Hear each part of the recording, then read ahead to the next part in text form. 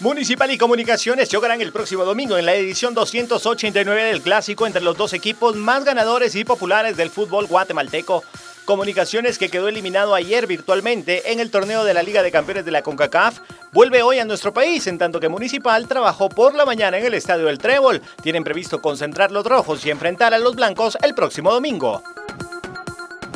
La policía colombiana detuvo en la ciudad de Cali a cinco integrantes de una banda criminal que están acusados del ataque contra el portero uruguayo Alexis Vieira, informó hoy esa institución.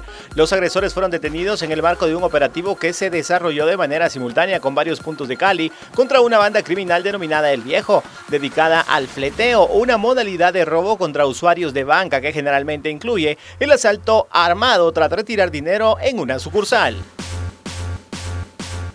El exentrenador alemán Detmar Kramer, ganador de dos Copas de Europa con el Bayern Múnich en 1975 y 1976, ha muerto a los 90 años, informaron hoy sendos comunicados el club bávaro y la Federación Alemana de Fútbol.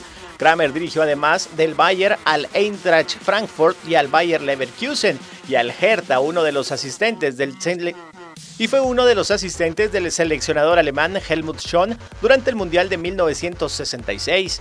Para mí, Detmar Kramer era más que una referencia deportiva, era como una figura paterna y uno de mis principales mentores de los comienzos de mi carrera deportiva, dijo el presidente del Bayern, Karl-Heinz Rummenigge.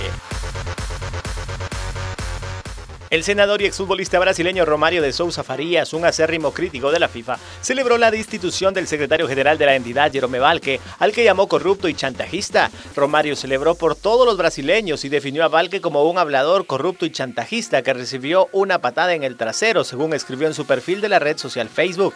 La FIFA informó el jueves de que destituyó con efecto inmediato y hasta nuevo aviso a Valque, producto de unas investigaciones por actos de corrupción sobre la venta de entradas para el Mundial de Brasil 2014. 14.